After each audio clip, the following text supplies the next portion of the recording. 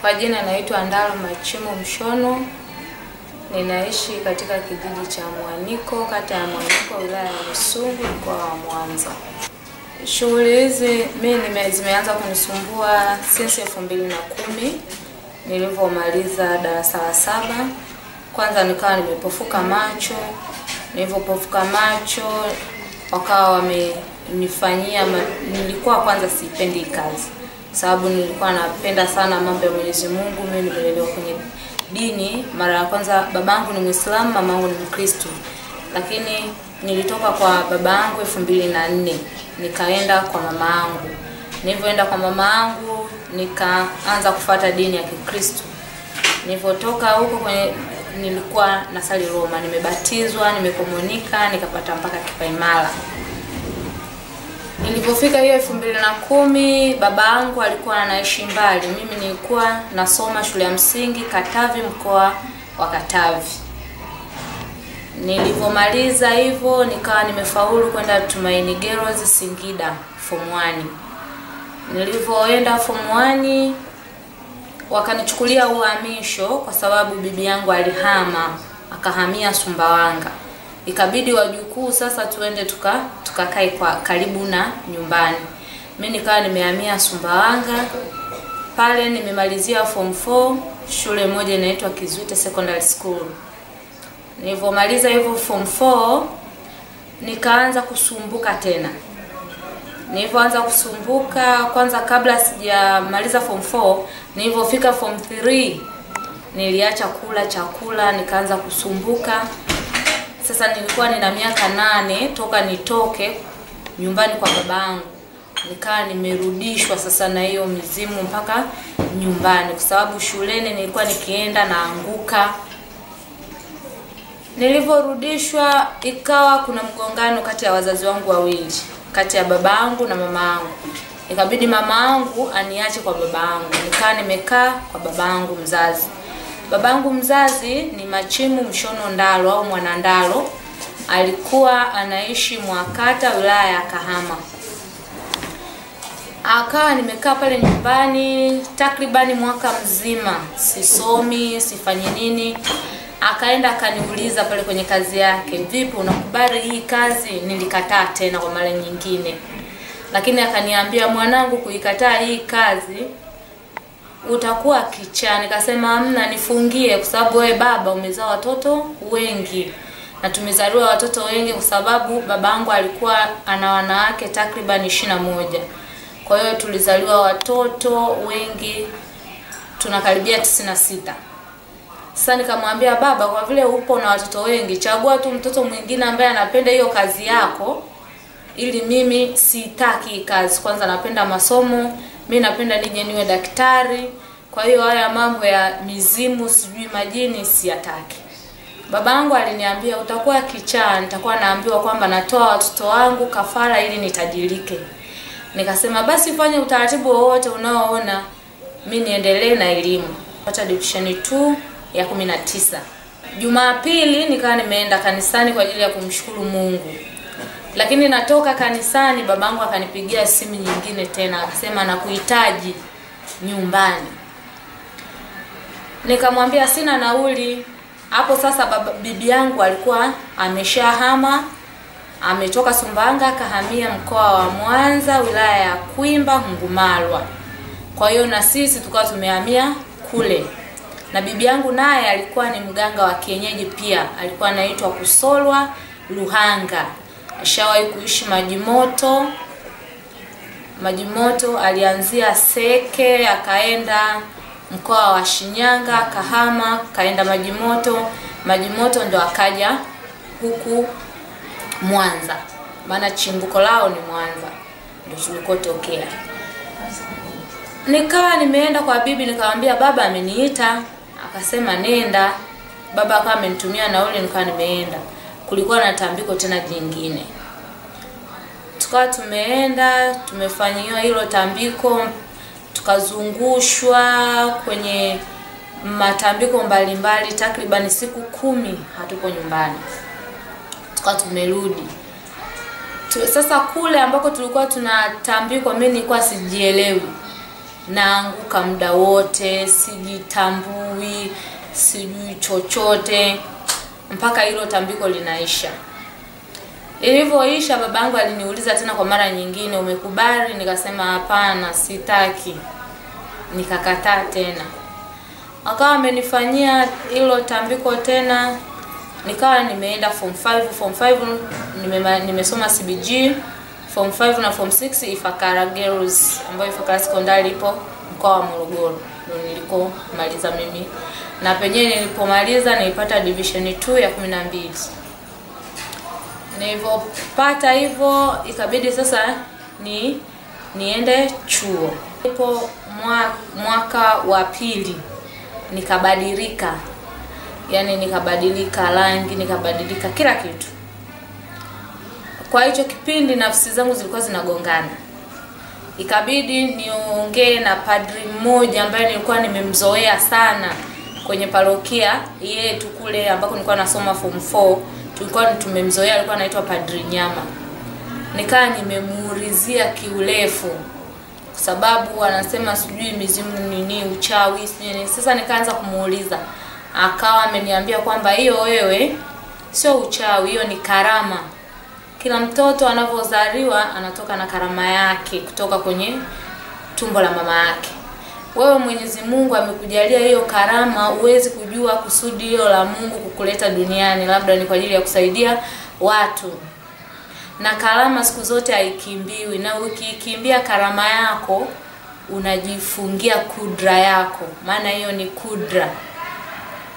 Alinieleza mambo mengi sana, ndio moyo wangu kidogo ukaanza kuelewa, kwa sababu ilifikia kipindi sasa nikaa yani mpaka mpaka najutia kwa nini nimezaliwa kwenye familia za kiganga namna hii, nakuwa naangaika. Alivyonielekeza yule, nikaa nimemwelewa. Sasa hicho kipindi ambacho mimi niko chuo, nimebadilika. Babangu alikuwa amesafiri, ametoka nyumbani, yupo Ruvu, mkoa wa Pwani, kwa kaka yangu mmoja wa dawa, alikuwa anaitwa Kindeti, lakini Mungu amemchukua. Nikaenda mpaka pale. Kwa sababu nilikutana na mama yangu Ifakara, tunakula meza meza ya mbele, mimi niko meza ya nyuma, lakini hakunitambua mpaka nikamfuata, nikamwambia mama, yani kwa way nilivyokuwa nimebadilika, na mpaka nafika pale kwa kaka yangu huyo Kindeti wa dawa ambaye alikuwa anatibiwa na baba, nilikuta mama zangu wadogo ambao wameolewa na, na baba lakini hata wao hawakunitambua. Ikabidi sasa nitumie kuforce kuingia, sababu alikuwa anafanya kazi. Nikawa nimeenda mpaka mle. Nilivyoenda aliniona, alilia sana, akaniambia, mwanangu, kubali, sababu wewe umechaguliwa, sio kwamba mimi ndo nakulazimisha. Haya mateso utananili mpaka lini? Alichonisisitiza akaniambia, ninakuomba uzae, kwa sababu ukianza hii kazi bila kuzaa hautopata mtoto. Akaniambia, kama hauna mwanaume wa kusema kwamba utazaa naye, sema nikutafutie. Nikasema hamna, staki. Nilikataa, ila akanisisitiza, akanipa mambo mawili. Akaniambia, kama mimi ni baba yako mzazi niliyekuzaa ninaomba ukanyage kwenye uwanja wangu ukiwa aidha na mtoto au mimba, kama unajua kweli mimi ni baba yako. Lakini kama unajua mimi sio baba yako, utaacha. Na akaniambia ukibeba mimba utazaa mtoto wa kiume. Akawa amenitengenezea hapo vizuri, nikaa nimeondoka. Yaani kile kitu kili kikaniharibu hadi kisaikolojia. Nikaanza kujiuliza, niwe mgumba. Nikiangalia bibi yangu mzaa mama yangu alizaa, alianza kuwa, kutibu watu, kuagua, kusola luanga akiwa hajazaa mtoto. Alihangaika sana kumpata mtoto na Mungu akamsaidia akamzaa mtoto mmoja tu ambaye ni mama yangu. Mama yangu hana hana kaka yake, hana dada, hana nani na alimpata ukubwani kabisa, yani karibu uzeeni. Sasa nikaanza kujifikiria, au na mimi nitakuwa kama bibi. Nikamwomba Mwenyezi Mungu, nikasema Mwenyezi Mungu, naomba unisaidie niweze kulipita ili tatizo. Kwa bahati nzuri nikapata mimba, nikarudi nyumbani, nikarudi nyumbani kwa mama yangu, lakini mama yangu sikumwambia kwamba baba ameniambia hivi na hivi na hivi, kwa sababu nilihofia kuchonganisha wazazi sababu mama ndo alikuwa ananilipia ada. Sasa nikaona nikimweleza mama yangu haya mambo atakasirika, kwa sababu niliona hata kile kipindi niko form 3 reaction aliyotoa. Nikakaa nyumbani mpaka nikajifungua, nikabahatika kujifungua mtoto wa kiume. Nilipojifungua mtoto wa kiume kipindi niko mimba ikaanza tena kunisumbua sili nazimia hata masaa nane. Siku moja nikawa nipo nimekaa pale. Mizimu iliyoanza kunishika kabisa kuanza kazi ilikuwa ni ya upande wa umamani. Ikasema sisi tunaanza kazi rasmi Afu hicho kipindi baba yangu alikuwa anathumbuliwa na maradhi kwa sababu maradhi alianza kumsumbua since 2017. Kwa hiyo alikuwa anakuja kuniomba pale kwa mama kwamba mwanangu, nakuomba uje nyumbani nikuachie familia yangu. Inatokana inatokea migongano kati ya wazazi wa pande zote mbili. Mama anasema sitaki mwanangu uende naye akae hapa. Kwa hiyo nilivyoanza nikaanza kuagua pale kwa mama yangu, ikabidi sasa nikubali kutoka moyoni. Nikaa nimeanza kufanya hiyo kazi nikiwa kwa mama yangu. elfu mbili na kumi na tisa tukawa tumeitwa kwenye tambiko la babu kwa baba. Nikawa nimeenda mpaka kwa baba kwenye lile tambiko, tukafanyiwa lile tambiko mpaka likaisha. Lilivyoisha mimi nikarudi kwa mama, nikaendelea na kazi kule kule kwa mama. Ilipofika elfu mbili na ishirini babangu alinifuata tena kwa mara nyingine, kwa sababu sasa alikuwa akija ananikuta mara na, nafanya kazi sawa, lakini kuna wakati nazimia, mwanangu simnyonyeshi. Mwanangu alikataa mwenyewe kunyonya akiwa na miezi saba nikaa nimemwacha sasa, kwa vile amekataa yeye, sikumlazimisha. nikaa nimekaa naendelea na kazi. Babangu akaja tena kuniomba kwa mara nyingine, alimtamkia mama yangu maneno makali sana, akaanza kumwambia unataka mwanangu mimi anikute nimelala kwenye jeneza? Huoni ninavyohangaika na haya maradhi? Nina wadogo zake wengi, wale watoto wadogo, waonei huruma watalelewa na nani? Mama ikabidi amtafute mama yake mdogo, maana mama yake mzazi bibi yangu Kusolo ameshatangulia mbele yake, alifariki 2016 mwezi wa 11. alivyomtafuta bibi yangu akaja wakashauriana, kwa baadaye mama yangu sasa akakubali, akasema nimekubali mtoto wako umchukue ukaishi naye. Babangu akawa ameondoka. Alivyoondoka, sikuondoka naye moja kwa moja, nikawa nimebaki pale nyumbani. Lakini zilivyopita kama wiki mbili, nikapigiwa simu, babangu anaumwa, amelazwa, yupo kama na mama yangu hakuwepo.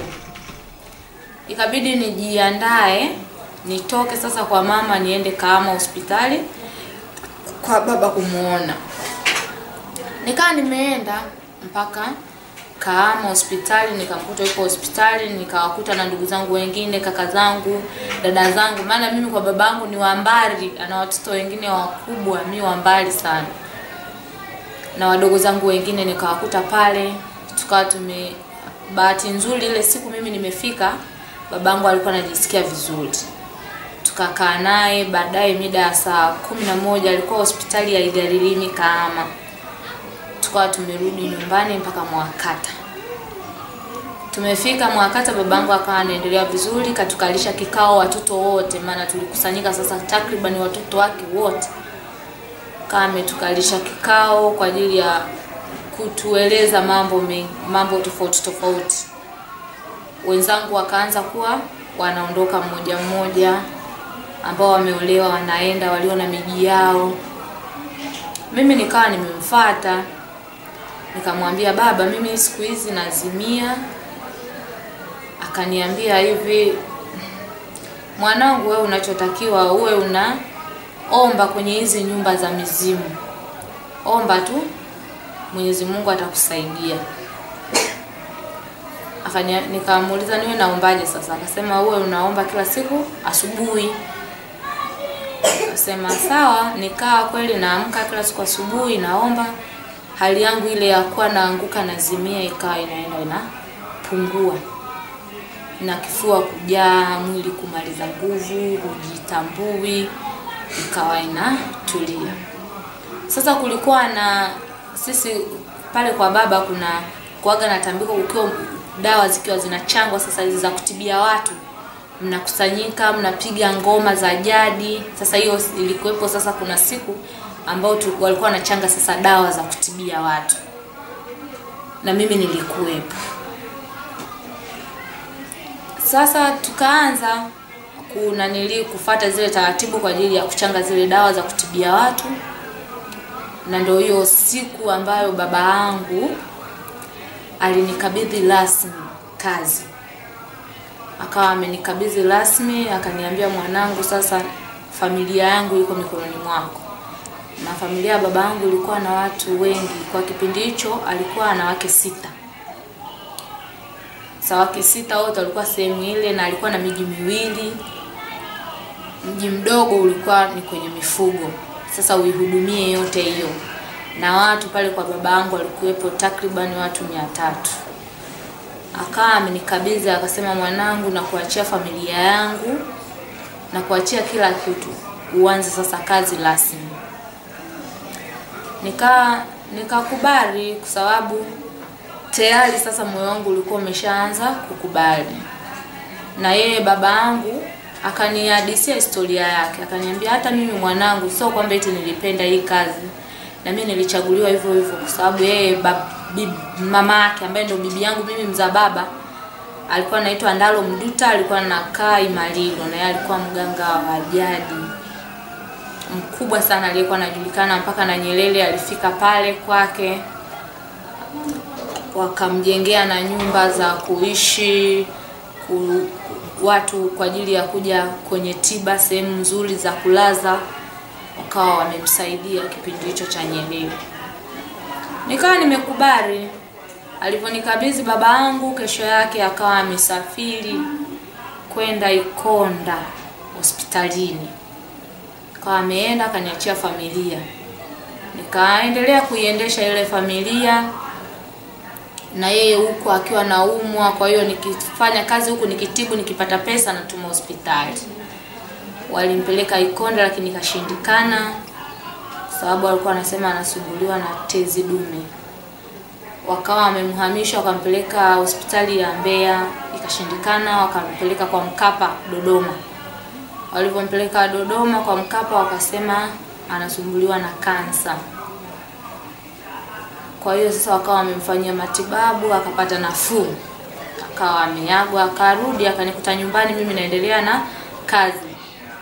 Sasa toka alivyonikabidhi akaacha kabisa kufanya kazi yeye, ikawa kazi zote nasimamia mimi, kila kitu mimi. Yeye kwa sababu ya yale maradhi akawa tena hawezi kufanya kazi wala kukaa muda mrefu kwa ajili ya kutibia watu. Babangu alikuwa ni kiongozi mzuri kwenye chama, kwa hiyo watu mbalimbali wa vyama walikuwa wanakuja wa CCM kwa sababu alikuwa mpaka naibu katibu wa wazazi taifa, mpaka umauti unamchukua, alikuwa na hicho cheo. Kwenye kwa kwenye swala la wazazi, maana kuna jumuiya ya wazazi, na alikuwa shule mbalimbali alikuwa anazisimamia kama mlezi wa hizo shule kwenye wilaya yake na wilaya za jirani. Kwa hiyo wakawa wanakuja pale kumuona, kumsalimia na mimi nikiwa naendelea na kazi. Akawa kama amepata nafuu, lakini aka, akaanza tena kuumwa ghafla.